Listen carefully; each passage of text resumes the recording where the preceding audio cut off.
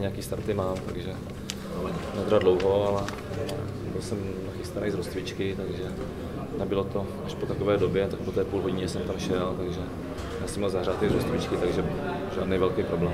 A tak nervozita, nervozita ani ne, to jako člověk nemá ani jako čas nad tímhle přemýšlet, že byl nějak nervózní, tak snaží se pomoct klukům nějak a kluci hodně pomohli mě, že vlastně v Teplice do ničeho nepouštěli, takže já jsem to měl relativně klidný, takže nervózní jsem nebyl, nebylo proč. A tak jsem na druhou stranu jako moc horší už to být nemohlo, že jo, takže jo. Nakonec jsme to krásně otočili, měli jsme super zápas a v 90. minutě si ho takhle necháme utéct.